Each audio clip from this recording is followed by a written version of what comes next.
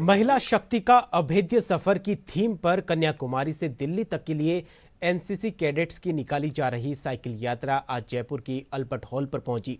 इस दौरान NCC cadets ने महिला सशक्तिकरण को लेकर नुक्कड़ नाटक की प्रस्तुति दी। इस अवसर पर एनसीसी के उप महानिदेशक एयर कमोडोर सत्येंद्र शर्मा सहित कई लोग मौजूद रहे।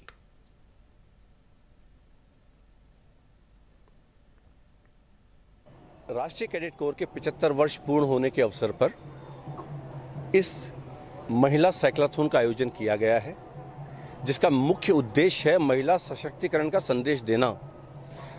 हिंदुस्तान की महिलाओं को, उनकी क्षमताओं के बारे में अवगत कराना और उन्हें आगे से आगे तरक्की का रास्ते पर लेकर आना।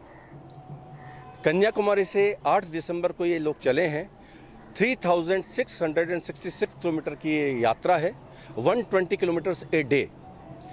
Physical challenges से ऊपर उठते हुए इन लड़कियों ने 13 cadets under the leadership of brigadier Charak जो अडिग साहस का परिचय दिया है अदम्य साहस का परिचय दिया है वो तारीफ़ काबिल है।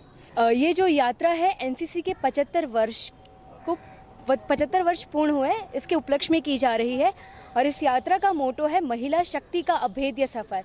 अभेद्य सफ़र से मालूम पड़ता है कि महिलाएँ पहले से सशक्त हैं, बस स्वीकारने की आवश्यकता है।